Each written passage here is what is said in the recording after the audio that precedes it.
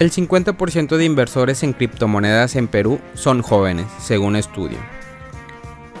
El último informe de desarrollo digital del Banco Español especializado en gestión patrimonial, Renta 4, señala que el 50% de los inversores de criptomonedas peruanos son jóvenes entre 18 y 34 años, y sus inversiones oscilan entre 10 y 100 dólares, el informe de Renta 4 muestra que entre los inversores de criptomonedas en Perú, 15% de personas son mayores de 50 años y admitió que gran parte de los peruanos no están familiarizados con las monedas digitales y que el 97% de las transacciones de capital se hacen con dinero en efectivo.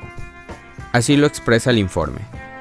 Es gente trabajadora, muchos de ellos sin ahorros acumulados que ven aquí una oportunidad interesante para entrar al mundo de la inversión, que es un mundo muy democrático, porque invertir no es cuestión de tener un capital considerable, pueden hacerlo todos.